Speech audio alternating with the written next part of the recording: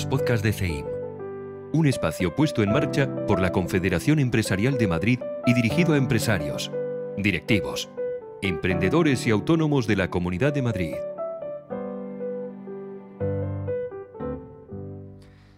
Bienvenidos a los podcasts de CEIN. Hoy tenemos el gusto de que nos acompañe Rafael Aguilera, director gerente de UNO, que es la Organización Empresarial de Logística y Transporte de España. Rafael, eh, bienvenido a CEIN y desde luego tu sector, la logística, el transporte, eh, todos lo vemos en la ciudad de Madrid, está constantemente desarrollando su actividad y de manera creciente. Nosotros queremos con la Agencia para el Empleo difundir que en el marco del Pacto de Empleo hay oportunidades para los desempleados de la ciudad. Es una ciudad que está creando mucho empleo, pero que también tiene una bolsa de desempleados importante y queremos, por supuesto, disminuirla consideramos que tu sector está en la punta de lanza de la creación de empleo. ¿Es así?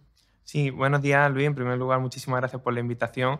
Eh, efectivamente, como bien dice, nuestro sector está en la punta de lanza de la generación de empleo. Ya venimos muchos meses en las que somos siempre entre el, tercer cuarto sector que más empleo genera. A día de hoy tenemos contratado más de un millón de personas.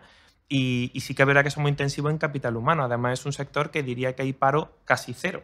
Eh, además, tenemos una necesidad de perfiles muy heterogéneos, muy variadas, con lo cual cualquier persona en paro puede reciclarse, puede reinventarse y formarse en aquello que le guste y, y trabajar en nuestro sector. ¿no? Eh, tenemos disponibles desde puestos a los que cualquiera se nos puede venir a la cabeza, como repartidor, mozo de almacén, gestor de tráfico, etcétera, a algunos mucho más novedosos, como pueden ser de técnica de atención al cliente o de, o ingeniero. O sea, cualquier ingeniero informático, industrial, que sepa de procesos, de organización, de, de eficiencia, de nuevas tecnologías, pues tiene cabida en nuestro sector. ¿no? Sí, y en, cualquier sector, también en el vuestro, por supuesto, es necesario cualificarse, tener la formación necesaria para ocupar esos, esas distintas categorías que se necesitan. La Agencia para el Empleo tiene cursos de formación que hay que adaptarlos naturalmente a las necesidades de, cada sector. Eh, entiendo que efectivamente necesitáis profesionales eh, con ganas, con actitud, pero también con cualificación. Sí, siempre, desde luego gana actitud y la cualificación es fundamental. Eh, nosotros mismos desde UNO compartimos con la Agencia para el Empleo y otras muchas instituciones que damos formación sin coste para los alumnos y en esa formación pues ya lo instruimos desde, como decía antes, desde mozo de almacén le damos técnicas para captar clientes, de atención al cliente también para, para, acompañar, bueno, ya sabéis que en nuestro sector, pues cuando no te llega el envío a la puerta de tu casa en tiempo y forma, pues todos cogemos el teléfono y llamamos, ¿no? Así que damos formación y sí que recomendamos que a la gente que esté en paro, que quiera venirse al sector, que cualquiera de estas formaciones, que todas son muy buenas, pues que se animen y, y por supuesto además que lo orienten, ¿no? Hacia poder trabajar en un sector que, como decía antes, pues tiene paro cero. Hay veces que evidentemente una formación eh, puede carecer de, de parte práctica, entonces las empresas como lo que estamos deseosos de capital humano, de gente con ganas y que, y que venga, pues le hacen un acompañamiento cuando entran en la empresa para que la persona esté 100% formada y que en muy poco tiempo sea, sea funcional. ¿no?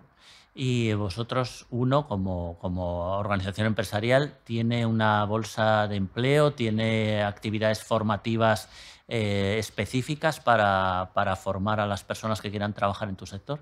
Pues nosotros bolsa de empleo como tal no tenemos, pero sí que es verdad que hay una demanda tan alta que siempre nuestras empresas nos están preguntando que si tenemos gente para tal puesto o, o en general. Y sí que es verdad que cuando tenemos gente en las formaciones que viene, que, que, está, bueno, que quiere o buscar empleo o simplemente cambiar de, de, trabajo, pues sí que la ponemos en contacto ¿no? con las empresas para que a partir de ahí sean ellas las que le hagan una entrevista y, como digo, rápidamente la, la admitan porque, porque siempre se necesita gente. ¿no? Con lo cual, sí que sin tener bolsa de empleo, sí que hacemos de, de nexo entre la empresa y cualquier persona de las que viene a nuestra formación o que simplemente, incluso sin haber asistido a una de ellas, nos pide que quiere trabajar en el sector. Entonces intentamos buscarle hueco que, que siempre ¿Y, actividades formativas también realizáis de alguna forma como organización empresarial? O... Sí, tenemos actividades tenemos cursos de formación de diversa índole, desde los más básicos, por así decirlo, y, vuelvo a nombrar, pues mozo de almacén o, o, técnica de atención al cliente, pero también tenemos másteres o formación muy cualificada para, por ejemplo, transformación digital, optimización de procesos, eficiencia, etcétera.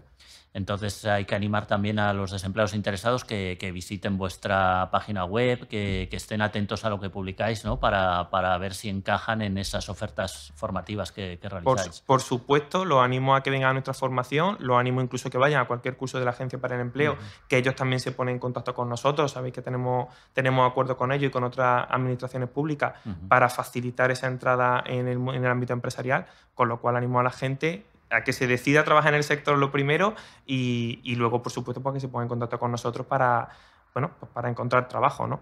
Eh, no me quiero despedir, Luis, antes sin, sin poner un caso de éxito ¿no? de, de, de, un pueblo que se transformó y es Illescas. O sea, todos ahora mismo los que estamos en este sector conocemos Illescas porque hay ahí grandes eh, centros logísticos montados dentro, pero hablando con el alcalde, ¿no? él decía, yo empecé eh, gobernando un pueblo y he terminado gobernando una ciudad.